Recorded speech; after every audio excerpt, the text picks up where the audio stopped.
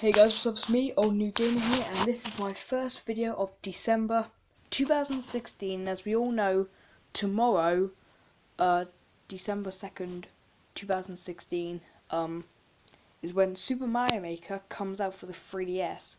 So I decided, because the 3DS version comes out tomorrow, why not review the Wii U version, the Wii U original, uh, today. So, so this is all the stuff, of course, the European version, because I do live in the UK if you haven't seen my other videos, um, yeah. So basically, this is all the stuff that comes with the game. There's the um, the cardboard box thing. Uh, there's the actual game itself with the disc in there, and there's the um, the book as well. So yeah, it's basically here's the actual game itself. Very nice cover in this uh yellow case.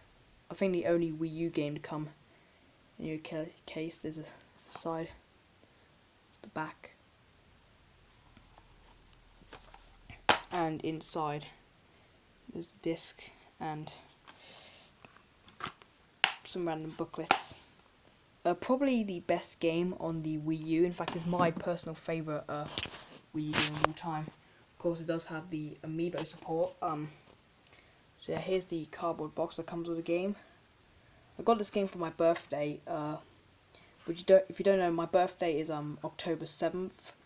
Um, and it goes for my birthday uh, last year. So I was so excited to get this game. And here we have the book as well. This is the um hardback version. Um, this only comes with the physical release of the game. So just a brief look.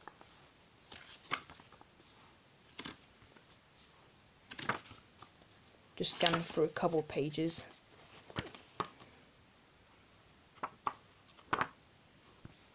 yeah, if you own this game already, you've probably already seen. I like these um versions of the original um like blocks from Super Mario Bros. One. So this game was meant to celebrate Mario's uh, 30th anniversary. It's basically a Mario creation game. In fact, that is what it is. But you can also um share um it online. There's actually nothing else in here. Uh,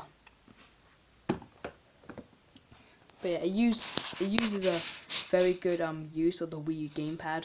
Um, you know, basically like place blocks and stuff, and you could place um and you could upload your levels through four different Mario games. You have the original Super Mario Bros. on the NES, Super Mario Bros. 3 on the NES, Super Mario World for the Super Nintendo, and New Super Mario Bros. U, which was one of the launch titles for the uh, Wii U. I do actually have that um right here, New Super Mario Bros. U very good game. Um, but yeah, but Super Mario Maker, I absolutely love this game to death. It's my favorite Mario game, and the fact that it's coming out on the 3DS is just amazing. There's the four games. Um, I will of course be getting the 3DS version because um, um, I do have a 2DS. Um, and I will be doing like a 3DS collection. I promise you for sure that that will happen.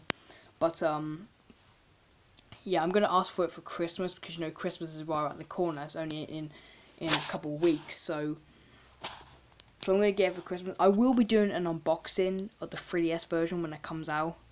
Well, not when it comes out, when I get it. You you you, you know what I mean.